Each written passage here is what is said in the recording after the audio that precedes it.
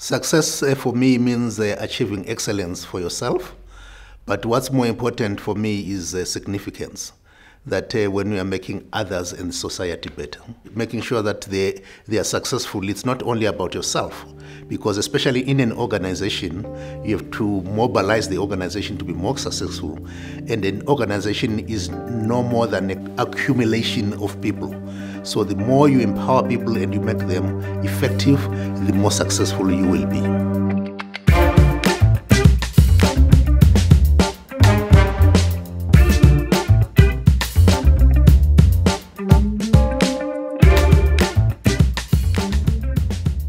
I trained as an uh, accountant at, uh, at, at Price, Price Waterhouse, as it was called, called then. And uh, I, I quite enjoyed it.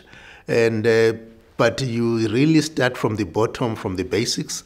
Uh, to sometimes if we, we are not busy, the audit senior would give you a telephone directory to say, add the telephone numbers and practice your additions.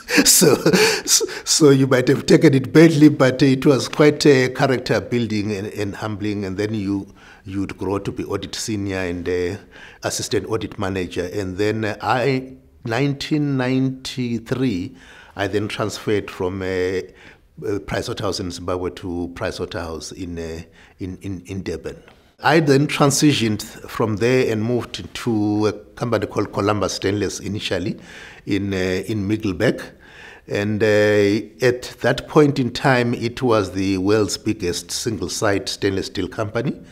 I joined as a corporate accountant, which is a where you're saying we need you, but we do not know what for. But uh, I did lots of jobs, but uh, I quite enjoyed it from project accounting to treasury to controllership. Actually, from an accounting perspective, I probably had the most solid and uh, broad training there. And uh, the, there was a gentleman called uh, Iqbal, who used to be my manager at Pricewaterhouse. He was now the controller there, so he was also a, a mentor for, for me. And at Price Waterhouse, Stanley Subramoney, who later became the deputy chief executive of, uh, of, of, of Pricewaterhouse, also had a strong influence uh, in my career. Uh, thereafter, I joined uh, uh Shell uh, as the treasurer in, in Southern Africa, which is basically Namibia, Zimbabwe, Mozambique coming down. I then was fairly successful, I would say, because I, for two years running, around 2000, I got the award of Corporate Treasurer of the Year in South Africa. Uh, thereafter, I went to to Netherlands and uh, to the UK uh, to to be groomed to be CFO. Errol Marshall, uh, God uh, bless his soul, was the chairman of of of of of, uh, of Shell. He gave me a leg up to say he was uh, tired of 30 years of expatriates coming to to South Africa and staying in Bishop's Court or Constantia and being paid a hardship allowance. so he, he, he, he, then decided that I'd be given a chance, and I'm eternally grateful to him. So I, I worked in, in, in the UK and uh, in, in the Netherlands. And uh, the amazing first experience in the UK, for those of you who've been there, is uh, you use the tube a lot. So I get into the tube and uh, I greet these ladies next to me. They, they, look at me funny as to what's your problem because uh, in, in my culture it's, it's, it's very rude not to to greet people next to you because it means uh, if you greet somebody it means uh, I'm not a threat to you and I welcome you. But uh, in that culture, it means don't invade my space. So the newspapers went. so when I related the story at work, they said, no, no, no, no, you don't greet people. Just get on with your work. so we led every day. So whilst I was at Shell, so initially I was, I, I was the treasurer there and public officer, but uh, I then uh, got promoted to the role of, of CFO which was uh, now much uh, quite quite broader because I was now in a le- leadership uh, position at a fairly young age for a company that size. I was uh, 30, 36 years old uh, at, the at the time. So I was uh, part of the executive committee, but not only was I looking at uh, the finance function, uh, but I had to look at the corporate as a whole and managing it. And one of the earlier roles in, in my position was uh, negotiating an empowerment transaction with uh, Thebe, which uh, fortunately years after, even when I had left, uh, it looks like it has gone from strength to strength. And not only did they buy the the retail side of the business, but uh, they've since uh, bought the rest of the portfolio also of uh, Shell as their empowerment partner, even on the re- refining side. So that was a good leadership experience to say, how can I make the company more effective and resilient, and what leadership role do, do I play? Because now I'm not just a managing a function, I'm part of managing a company. So then the, the, the role then changes because you, uh, as you become uh, more senior, you, you, there is more fluidity and unpredict- unpredictability which uh, doesn't come naturally to finance people. But uh, I, I had to cope with that.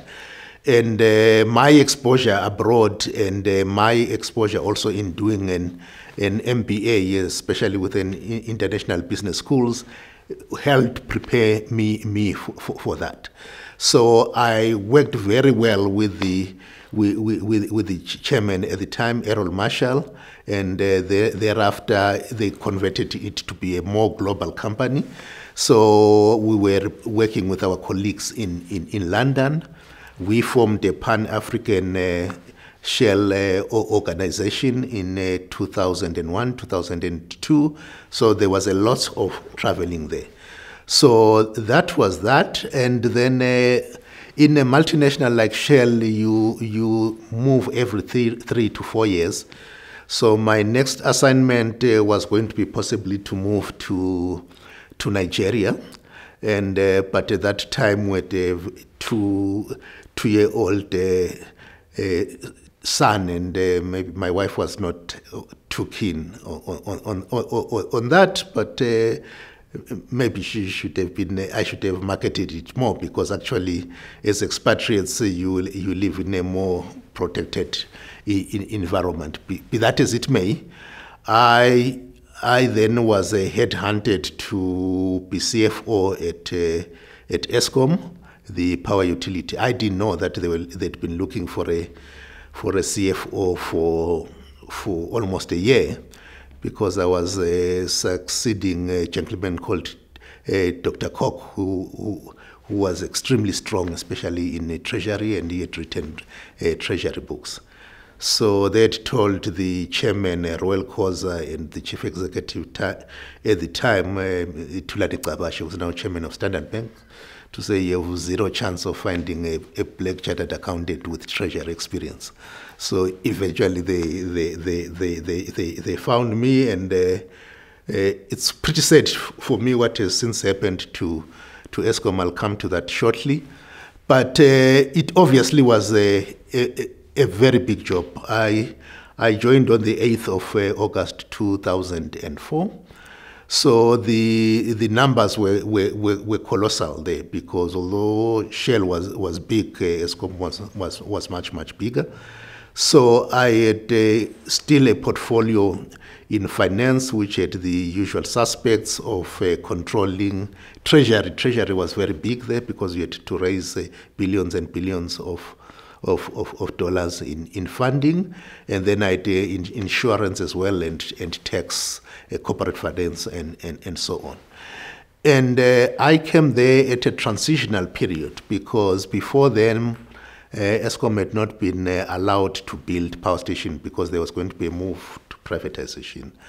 But uh, thereafter, there was a move to to make sure that uh, the, the power shortage is imminent and uh, then uh, actually, the former chief executive, Thulani Gcabashe, they had gone to see the government at the time of, uh, of uh, President Mbeki to say we're going to run short of uh, peak power by 2008 and then we'll run out of base capacity by 2010.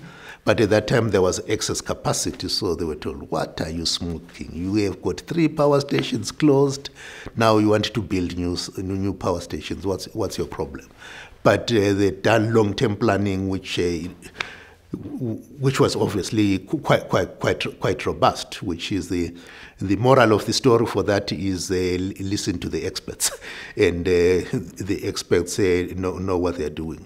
So it's pretty tragic when uh, years after I left Eskom in uh, end of 2008 it's pretty tragic when I see what subsequently happened. So I've been reflecting a lot as to what happened to such a great organization, which in 2001 was the Power Utility of the Year, and suddenly all this happened.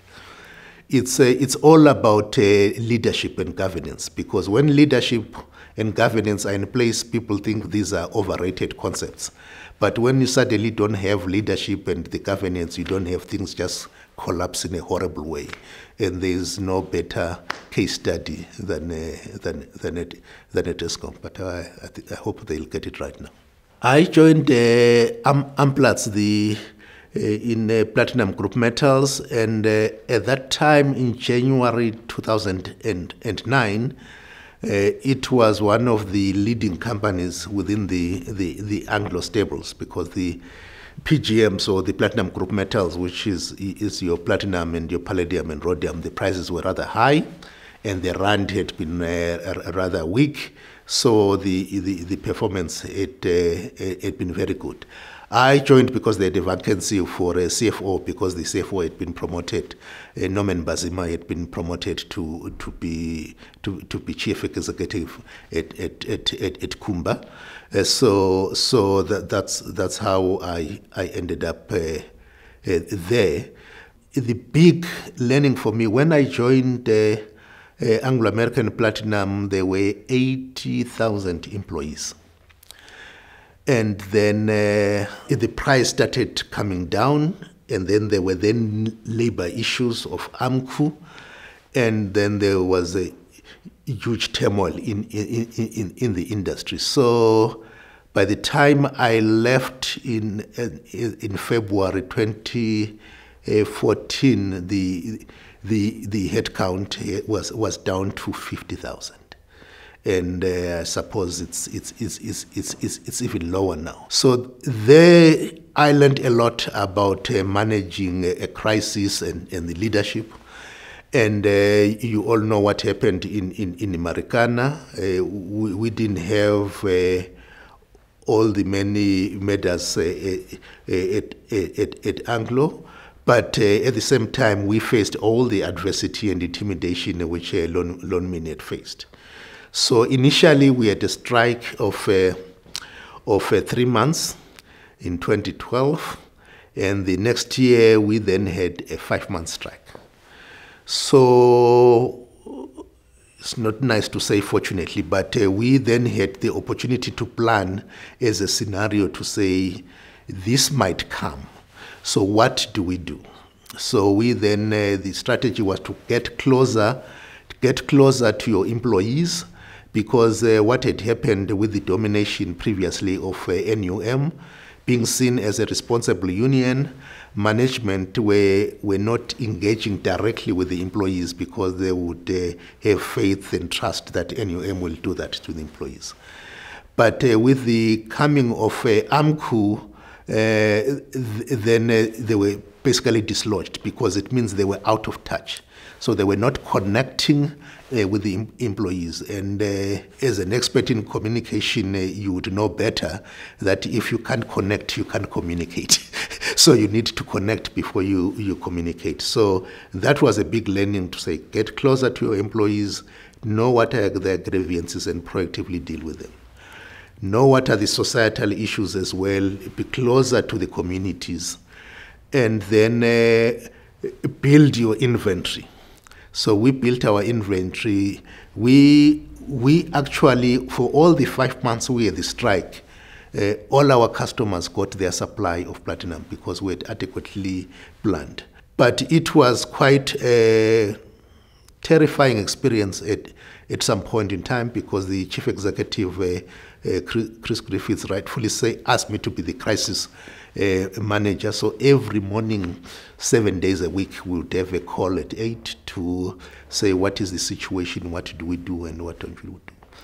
And my big learning in uh, managing a, a, crisis is uh, almost always management and leadership they underestimate the crisis. It helped me when I was when I'm now at uh, at, at Sasol where, where I am now because we also had a, a, a strike because I then had to say you need to prepare for, for a long uh, road. It's not going to be a short road.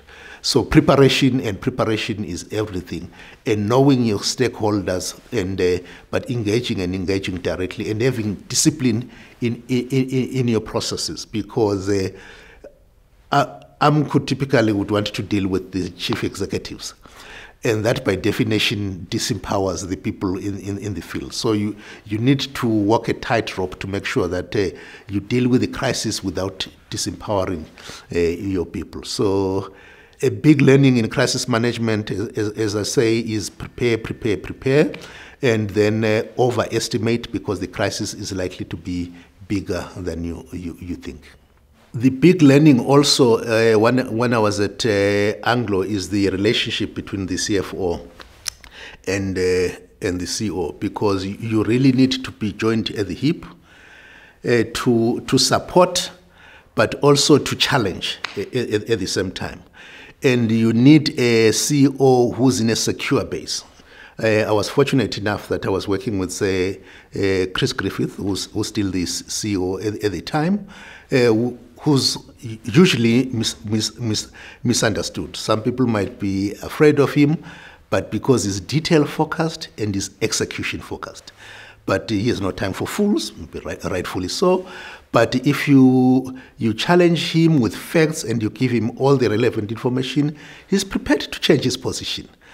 But uh, also because I would challenge him on some issues with a very great rapport. So I, I eventually left to to come to Sasol now, but uh, there's there's no issue with, with, with, with, our relationship because it was a trust relationship which we built.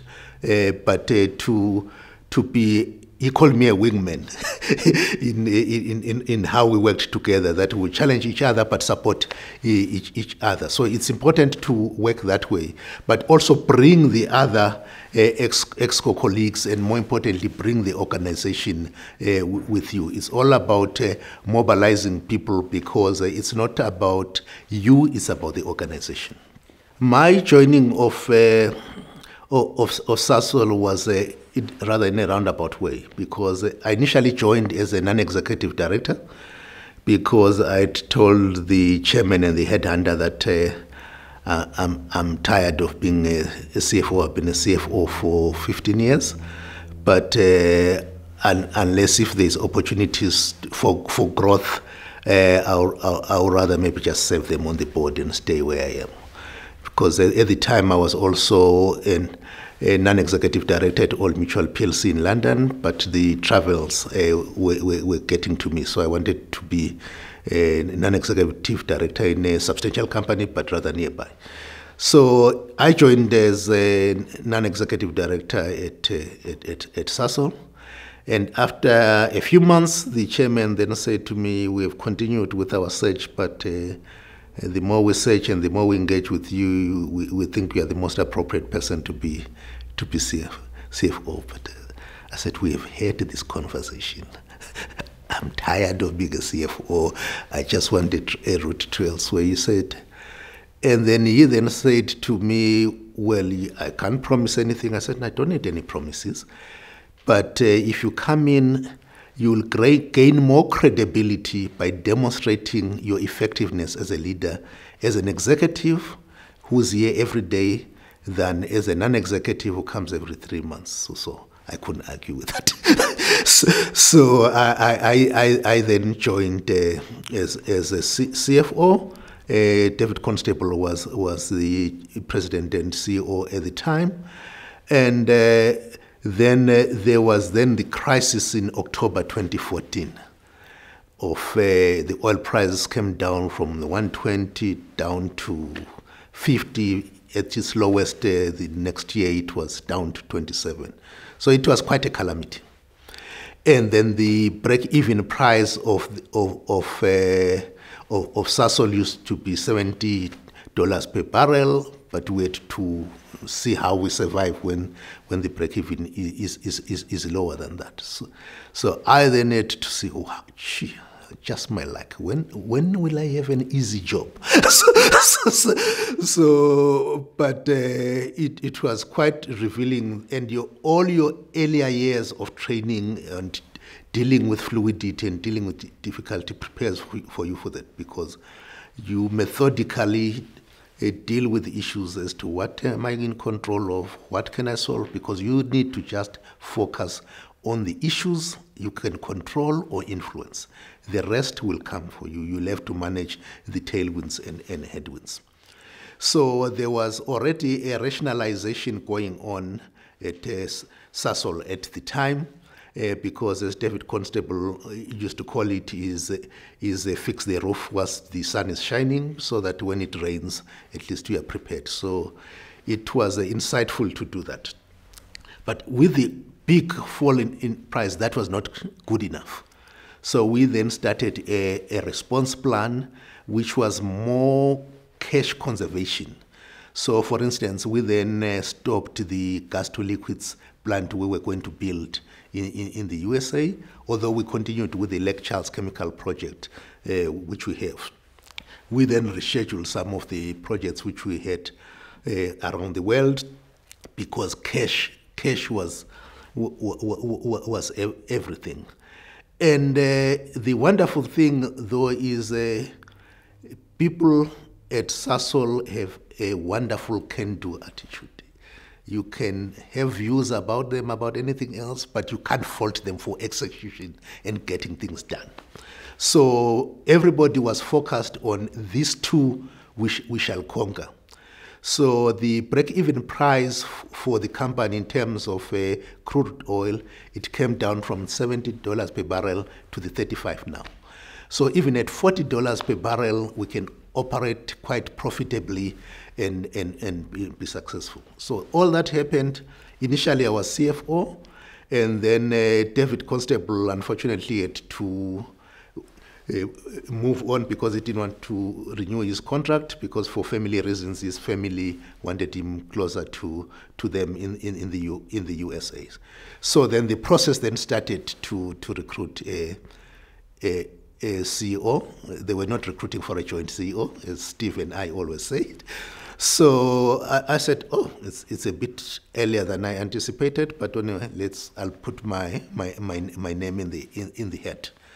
So I, I then went through the, the processes and then the, the outcome is the outcome. And uh, they told us that the, the, they will finalize the appointment in, in, uh, in February of 2016. But in, in 2015, after the board meeting, uh, because I was, a, I was a board member as, as CFO, the chairman then said he wants to see me with the non-executive director. So what have I done now?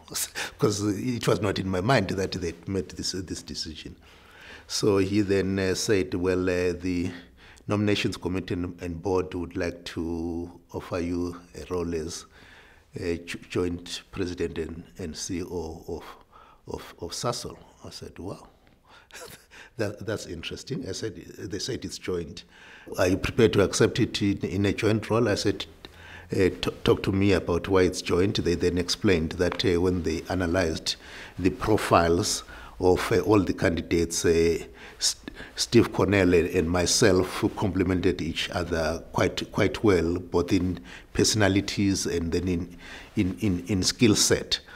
And then I said, well, it depends who is the the other joint uh, uh, CEO. And then when he said Steve, I said, uh, oh, that's that's great then, because Steve, although he was based in the, in the USA, uh, ironically, as CFO, I'd been involved with him in co-solving some of the challenges we're facing as a company, and I worked quite quite quite quite well with him.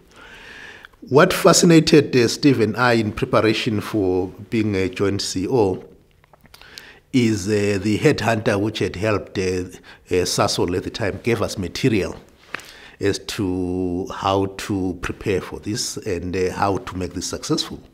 So we went all this material over the weekend and all of it said uh, it's fails, egos, unsustainable. So, so, so this, this, this, is fascinating. So you, you, are appointing us as joint CEO and you give us all this reading that uh, it's a, it, it never works. And truly, 90% of the time, it never works. And why does it not work? Because people in our positions normally have got inflated egos. And it's all about me, me, me. But uh, with Steve and I, obviously, you never get to this position with a level without an ego of sorts. But you need to have a manageable, balanced ego. So Steve and myself have got that. And then the other thing we agreed with Steve is, is that the ways of working, you put the company first, you put the team second, and you put the individuals third. So once we are focused like that, chances are everybody will know what's best for the company.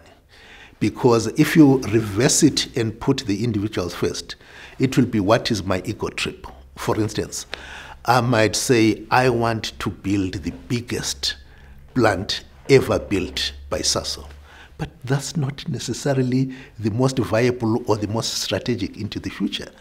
But if you calmly look at uh, what's best for Sasol and what are the mega trends going into the future, like we did when we did our strategy review last year, you hardly disagree on anything of substance.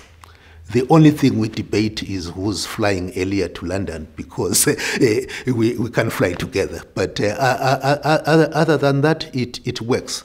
It, we also had to work with our colleagues, uh, the, the group executive team, so called the GEC, because even earlier before our appointment in, uh, in April, we went on uh, offsite and we agreed on ways of working because this was also intriguing them as to, but if I have a problem, whom do I go to and so on and so, so this is all confusing. But uh, the, the, the, board had been quite uh, smart in designing how, how it will work. Because normally in a bank, for instance, they would split responsibilities be, between investment banking and, and retail banking. Uh, in our case, it's smartly meshed together. So I'll take our executive who looks after operations globally. So uh, Bernard would re report to Steve for operations in, in, in Southern Africa, and uh, he would uh, report to me for operations offshore. So, and then we have a bi-monthly uh, with, uh, with, with, the executives every other six or to eight weeks, and we do that together. So as much as possible, we co-create and, and do things together. We are, our offices are next to each other, and just by mere fluke and coincidence, he stays in the same neighborhood I stay in, and uh, his daughter is not only at the same school, is in the same class with my with my daughter. Even this year, I noticed when they change classes, they are in the same class. So that's that's a fate, uh, I suppose. So it's it's it's working quite well, but uh, it's it, ultimately it's about personalities and uh, how you, how you, you you make it work. So St- Steve and I would write to like to write a case study of uh, the ten percent how to make it successful in joint leadership. For me, what, what's, impos- what's important is that uh, as, as a leader, first of all, you need to have a lot of credibility. You need to know your business and you need to be an eth- ethical person. Treat people with respect and then they will respect you because I don't believe personally that people should uh, respect uh, you because of the position. They should respect you because of the individual, because the individuals come, come and go. So it, it, it's important that. The other thing which is quite important is as a leader, you should create clarity of what's our vision, what's our mission, where we're going. And then the commitment to drive the people. So that, that has worked for me a, a, lot. So you need to do that because all studies have shown that uh, successful people, there is a common trait for successful people. They obviously need to be competent uh, but they need to be, have the confidence also. But the third element is credibility, which more depends on the external view rather than your own internal uh, locus. So once you combine those, it, it, it, it normally works. Where we have been un, un, unstable, for instance, in state owned enterprises, besides the leadership and governance, which I talked to, is if you look at these three C's I talked about, competence has been variable, credibility has been variable, confidence might have been there but misguided. So it's a, it's it's it's pretty clear that uh, uh, we need the right people in the, in the right places. I happen to believe that. Uh, government should uh, create the enabling environment for business to operate, and then uh, business should uh, manage businesses successfully for profit. Profit is not a four letter word. profit is necessary for growth, not only for the company, but also for broader society, because profit gives you optionality. Now, if although you have private companies, also in state owned enterprises, I certainly believe others might have a, a, much more extreme view that there is a role for state owned enterprises as long as they are run properly. Because if you go to the extreme of a privatization like uh, happened un- under Mike, Margaret Thatcher, there is a risk that the infrastructure might begin to flounder because people there is over focus on profit and they're not replacing uh, the the infrastructure or the cost of the service is is way and above uh, the the average indi- individual. So there is room for both as long as uh, things are being done properly. Last year, as business and uh, with uh, with government, we, we, worked on the CEO initiative. Uh, uh, Pravin Gordhan was the Minister of Finance at, at the time, but then there was then the night of long knives uh, when there was a cabinet reshuffle and all that changed. So that became difficult because we then saw, saw the downgrades in South Africa and also the cohesion and cooperation which was there between business and government started floundering. But uh, that's not good for South Africa because, uh, yes, we need to succeed as business, but we need to be aware of what our societal responsibilities as well. Because I'm not only responsible for my shareholders, I'm responsible for the broader stakeholders. Uh, I'm unashamedly say that to, to the shareholders as well. Because without the support of your stakeholders, you can't run a successful business and you cannot deliver. So, if in South Africa, given our history, we need to deal with, with the needs of, uh, of, of, transformation because uh, we come from a history of uh, racial segregation which we cannot uh, wish away. But the issue is how do we deal with, with, with it in a very constructive way because in the companies we deal with it every day to say this is not about making the lives of our white employees difficult. This is about creating opportunities for the greater populace so that it's not only for the greater good of the company, for the greater good of society, and increases the sustainability of, of, of our operations. The narrative has greatly changed since the ANC NASREC conference in, in, in December. So we have reconvened as the CEO uh, initiative, working together with, with, with government, with a common narrative, because the challenges we face in South Africa are not different to the rest of the world. For instance, the theme at Davos this year is a shared future in a fractured world.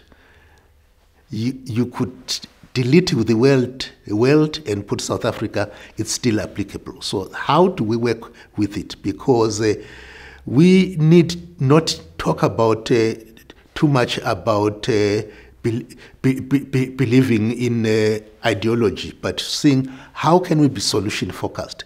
Because everybody, nobody wakes up every day, be it a worker, a unionist, a politician, a business person, nobody wakes up every morning and saying, I want to make South Africa a worse place today. Everybody wakes up to say, how can I make South Africa better? How can I make the world better? So this newfound cooperation and enthusiasm is important. It's even more important that there have been early demonstrated options to deal with issues such as debt capture and corruption, be it in business or in private sector. But it's important to sustain it and to make sure that we deliver because damage has been done. It's not going to be easy and quick to deal with it. But hey, as I said to my colleague at the CEO initiative, how old is your company? If your company is 100 years old, or in our case, it's 67 years old, this too shall pass. You need your job as a leader is to manage uh, all the big issues. Some will be good, some will be bad. You you will walk, go past this, but uh, I'm very confident that as South Africa, uh, all of us deal with adversity and go past the difficult elements. So this too shall pass, and there will be a, yet again the marvel of the world.